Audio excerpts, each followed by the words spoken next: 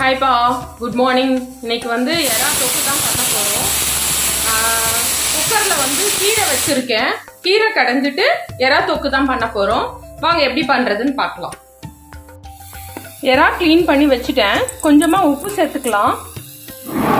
கொஞ்சம் உப்பு சேர்த்துட்டு கொஞ்சமாக மஞ்சத்தூள் போட்டுக்கலாம். நான் வந்து பொடியெல்லாம் இதில் இப்படி தான் அரைச்சி வச்சுருக்கேன்.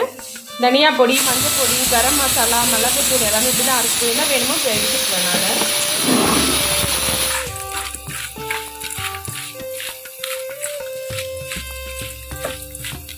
இது இருக்கட்டும்.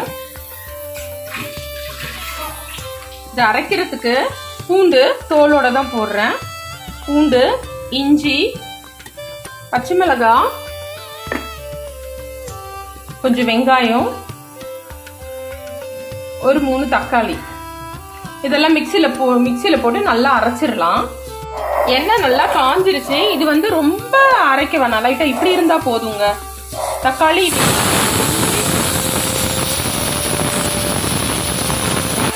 தக்காளி வெங்காயம் இஞ்சி பூண்டு எல்லாம் போட்டு அரைச்சிருக்கேன் நான். இப்போ வந்து இதுக்குள்ள வந்து கடுக்கலாம் போடல.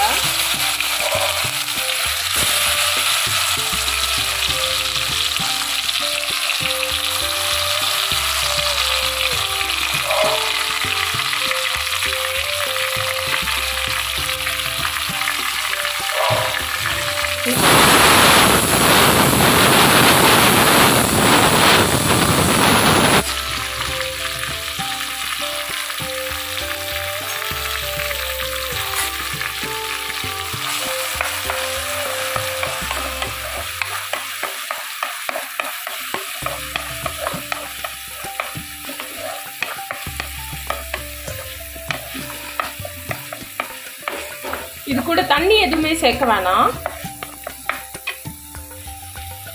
இப்போ வந்து இறால உப்பு போட்டிருக்கோம்.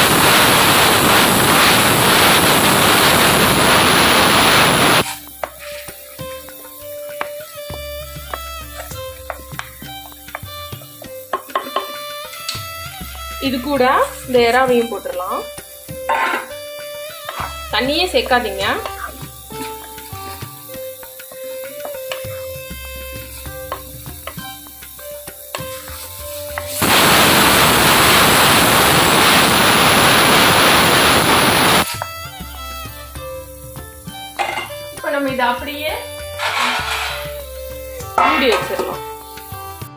இருக்குன்னு பார்த்துடலாம் கொஞ்சம் தண்ணி விட்டுருக்கு. வேற கொஞ்சம் நல்லா வெந்திருக்கு. இப்போ இது வந்து இந்த தண்ணி வத்தணும். நம்ம காரத்துக்கு குழம்பு மிளகாத்தூள் சேர்க்க போறது இல்லை மிளகுத்தூள் தான் போட்டு இறக்க போறோம். கொஞ்ச நேரம் திறந்துருக்கட்டும். அடுப்பை சிம்மில் வச்சிடலாம். கீரை என்ன ஆச்சு பார்க்கலாம். கீரையை கடைஞ்சிட்டு தாளிச்சிடலாம்.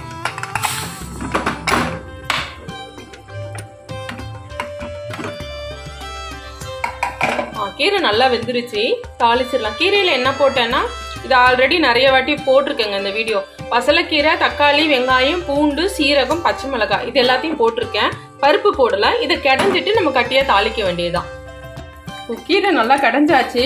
கீரை தாளிக்க எண்ணெய் வச்சு கடுகு போட்டிருக்கேன். கடுகு நல்லா பொரியட்டும்.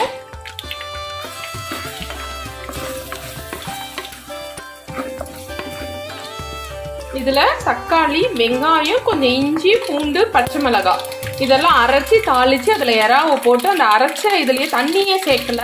அரைச்ச இதுலயே தக்காளி வெங்காயம் வேகிற இறா வேகிற மாதிரி இது பண்ணியிருக்கேன். இது கொஞ்சம் சுண்ண ஒன்று கொஞ்சம் மிளகுத்தூள் மிளகாத்தூள் போடல. காரத்துக்கு அரைக்கும் போது ஒரு ரெண்டு பச்சை மிளகாய் போட்டேன். அவ்வளோதான் இன்னும் கொஞ்சம் இது சுண்டட்டும். கடுகு நல்லா பொரிஞ்சிருச்சு. காஞ்சி மிளகாய் போட்டுடலாம். கீரைக்கு எப்பவுமே கடுகு காஞ்ச மிளகாய் இல்லைன்னா வடகம் போட்டு தாளிச்சிங்கன்னா தான் கீரை எவ்வளோ டேஸ்டாக இருந்தாலும் தாளிக்கிறதுல தான் நம்ம நல்லா சாப்பிட முடியும்.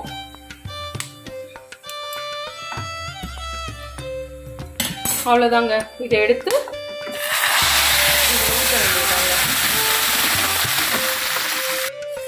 இவ்வளோதாங்க கீரை ரெடி ஆயிடுச்சு. இப்போ எறா என்ன ஆச்சுன்னு பார்க்கலாம். இப்போ இது கூட மிளகுத்தூள்.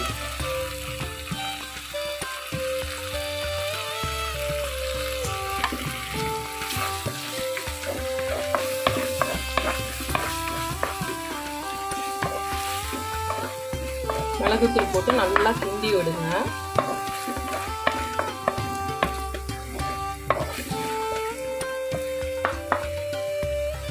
கொஞ்சமா அந்த இடிச்ச வெறும் மிளகாத்தூள் கொஞ்சமா.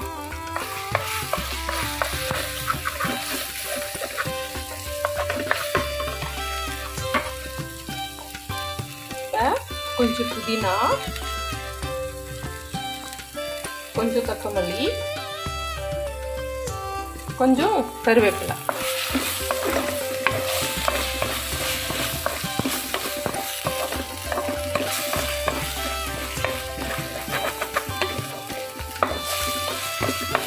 என் பொண்ணுக்கு வந்து எல்லாத்த விட இறா தான் ரொம்ப பிடிக்கும். அதனால மீன் வாங்குறத விட அடிக்கடி இறா தான் அதிகமாக வாங்கி செய்வோம். எறாவும் ரசமும் காம்பினேஷன் தான் ரொம்ப பிடிக்கும். சரி நீ கீரை வாங்கிட்டு வந்ததுனால கீரை கடைஞ்சிட்டு எறா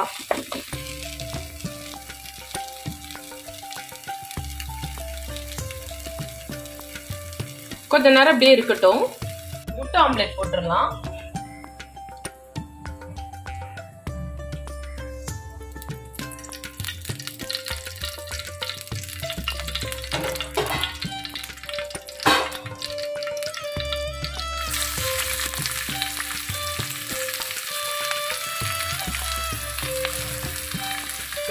ரொம்ப பெருசு பெருசாக கட் பண்ணிட்டேன் கொஞ்சமாக உப்பு போட்டுக்கோங்க.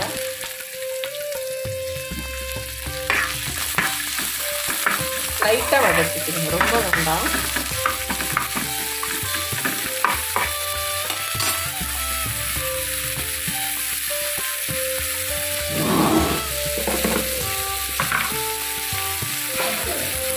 கொஞ்சம் தனியாத்தூள். கொஞ்சம் மிளகு தூள். இதில் ரெண்டு முட்டை உடச்சி ஊற்றிக்கலாம் டர்ன் பண்ணி போட்டுக்கலாம். முட்டை ரெடி ஆயிடுச்சு. இன்னைக்கு மத்தியானம் லஞ்ச் ரெடி வாங்க சாப்பிடலாம்.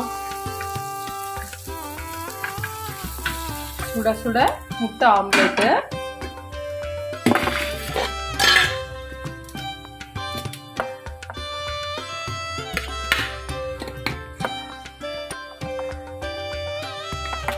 சுட சாதம்.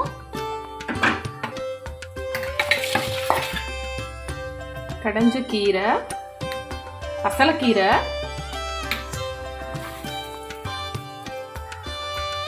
ஃப்ரை பண்ண எறா தொக்கு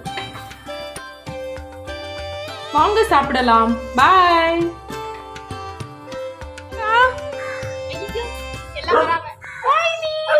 ஐயோ எல்லாரும் வந்துட்டாங்க. வந்துட்டான்ப்பா. ஈவினிங் வந்தாலே ஏதாவது சாப்பிட கேட்பான் சாப்பிடறதுக்காக வர்றது கிடையாது. கொஞ்சிறது தான் அவனோட நம்பர் ஒன் இதுவே. இவனுக்கு போர் அடிக்கல அவங்க வீட்டுக்கு போலாமே. அவங்க கொஞ்சுவாங்கன்னு சொல்லிட்டு. இதுக்கு பதில் அவனுக்கு பண்ணி கொடுத்த உடனே எங்க வீட்டு ஆள் வந்து எனக்கும் கொஞ்சம் போடுறியான்ற மாதிரி இது பண்ணிட்டு இருந்தான். இன்னும் இவனுக்கு போடுறதெல்லாம் அவனுக்கு கொஞ்சம் போட்டோன்னா வந்து குஷியா வாங்கிட்டு போனான். அது பேரு வந்து குட்டி கருப்பு. ரொம்ப பயம். எவ்வளவு நாளா போடுறேன்? ஆனாலும் பயந்து ஓடு சாப்பிட மாட்டேங்கிறான் பாருங்க. ஆனா பாசமா நல்லா இருப்பான் நம்மள பா நம்ம தான் போடுறோம். தூரமா பார்க்கும்போது வாழெல்லாம் ஆட்டுவான். ஆனா கொஞ்சம் நம்ம கிட்ட போனோம்னா பயந்து ஓடியே போயிருவான். பொண்ணு அது குட்டி கருப்பு அது பேரு. எங்க வீட்டு நாய்க்கு கொஞ்சம் குடுக்குறேன்டா. மயிலண்டா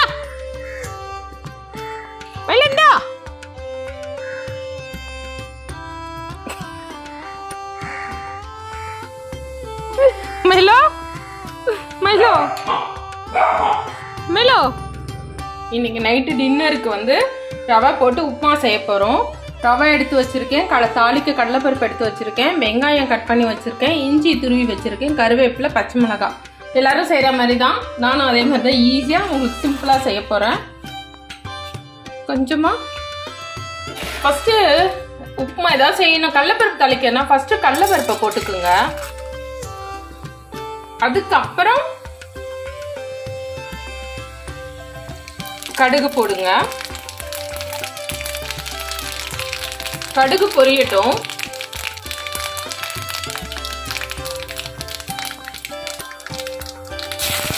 வெங்காயம் போட்டுக்கலாம். கருவேப்பிலை போட்டுக்கலாம். பச்சை மிளகாய் கீத்து போட்டு வச்சுருக்கேன். பச்சை மிளகாய் போட்டுக்கலாம். இஞ்சி துருவி வச்சுருக்கேன். இஞ்சியும் போட்டுக்கலாம்.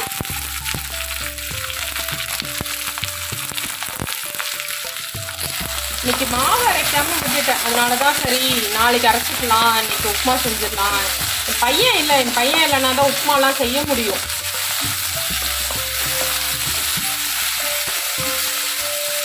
இது நல்லா வதங்கணும்.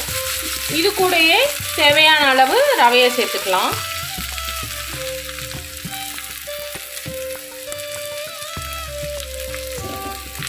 இதையும் இது கூட நல்லா வதக்கலாம். வறுக்கலாம்.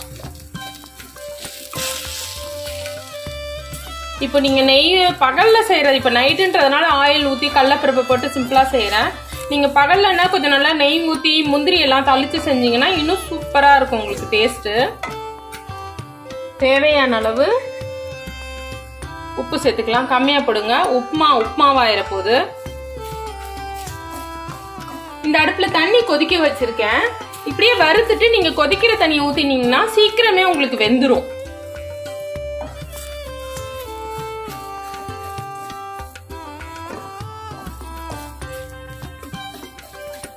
ரொம்ப போட்டு வறுத்தீங்கன்னா உப்புமா க வெள்ளையா இருக்காது. ஒரு மாதிரி கலர் மாறிடும் டேஸ்ட்டும் அந்த அளவுக்கு நல்லா இருக்காது. கொஞ்சம் வெள்ளையா செஞ்சாதான் டேஸ்ட் நல்லா இருக்கும்.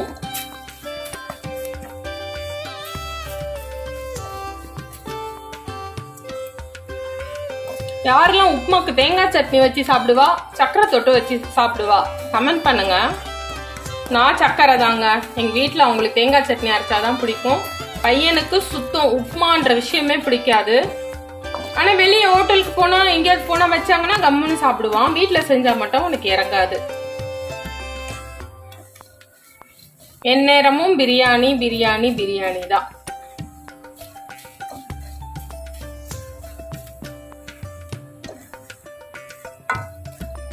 கொஞ்சம் நல்லா ஓரளவு வறுபட்டுருச்சு. இந்த டைமில் வந்து நம்ம சுடுதண்ணியை ஊற்றலாம் அடுப்பை சிம்மில் வச்சிடுறேன். நான் தண்ணி பரப்பரம் தெளிக்கும்.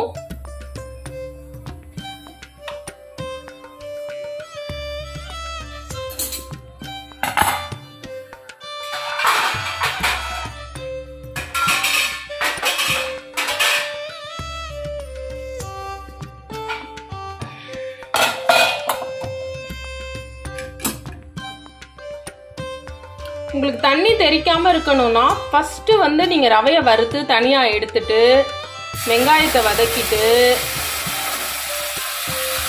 வெங்காயத்தில் தண்ணி ஊற்றி கொதித்த உடனே நீங்கள் போட்டிங்கன்னா தண்ணி ரொம்ப இது மாதிரி தெறிக்காது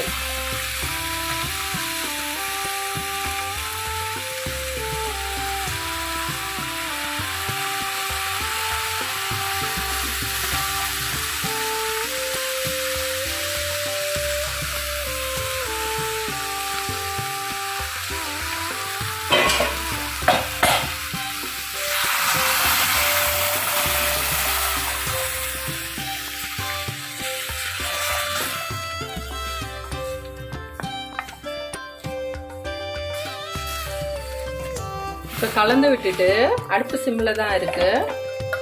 மூடி வச்சிடலாம். அப்புறம் ஒரு அஞ்சு நிமிஷம் கழிச்சு தண்ணி வத்தினோன்னு திறக்கும். அலசி நறுக்கி ஃப்ரிட்ஜில் வச்சிருவேன் அதான் போட போகிறேன் கொஞ்சம் தேங்காய். கொஞ்சம் உடைச்ச கடலை. ரெண்டே ரெண்டு பச்சை மிளகா. கொஞ்சம் இஞ்சி. புளி வைக்கல நான். கொஞ்சமாக உப்பு. இதை போட்டு அரைச்சிட்டு எடுத்துடலாம். அரைச்சாச்சு. தாளிச்சிடலாம். இப்போ உப்புமா என்னாச்சுன்னு பார்ப்போம். நல்லா தண்ணி வத்திருச்சு. கிண்டி விட்டுக்கலாம்.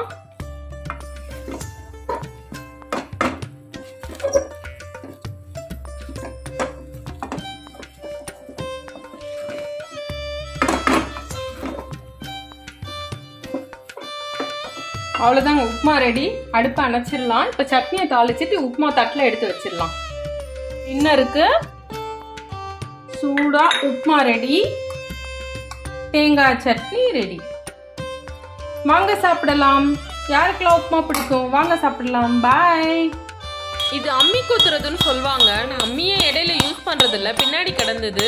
சரி இவங்க ரோட்ல போன உடனே சரி அரைக்கிறோமோ இல்லையோ? நம்ம இந்த இந்த இதெல்லாம். எங்க அம்மா புலம்பிட்டே இருந்தாங்க. எல்லாம் மாவு கூட அரைக்க மாட்டேங்கிறாங்கம்மா. கடையில தான் வாங்குறாங்க. எங்களுக்குலாம் ரொம்ப கஷ்டமா இருக்கு. அப்படின்னு சொன்னாங்க.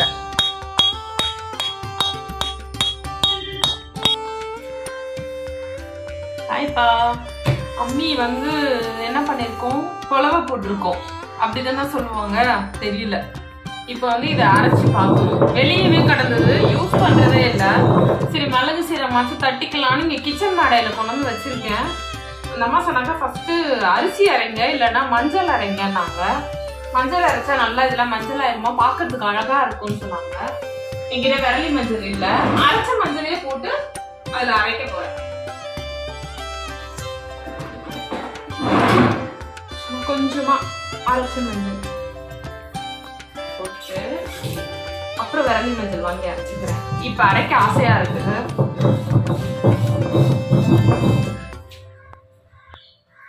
உருளுதுங்க.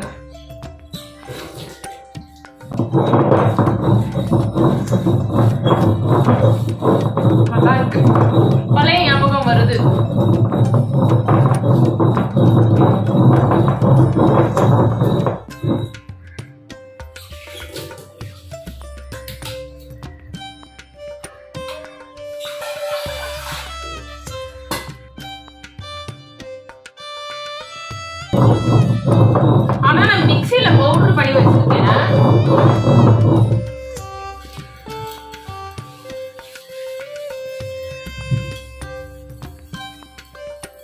சும்மா கழுவுறதுக்காண்டி போட்டு அரைக்கிறேன். ட்ரை பண்ணுவோம். இதுல கொஞ்சமாவது அட்லீஸ்ட் மிளகு சீரகம் இஞ்சி பூண்டு இந்த மாதிரியாவது அரைக்கிறது. உங்களுக்கு இந்த வீடியோ பிடிச்சிருந்தா லைக் பண்ணுங்க ஷேர் பண்ணுங்க கமெண்ட் பண்ணுங்க சப்ஸ்கிரைப் பண்ணுங்க. அடுத்த வீடியோவில் பார்க்கலாம். Bye.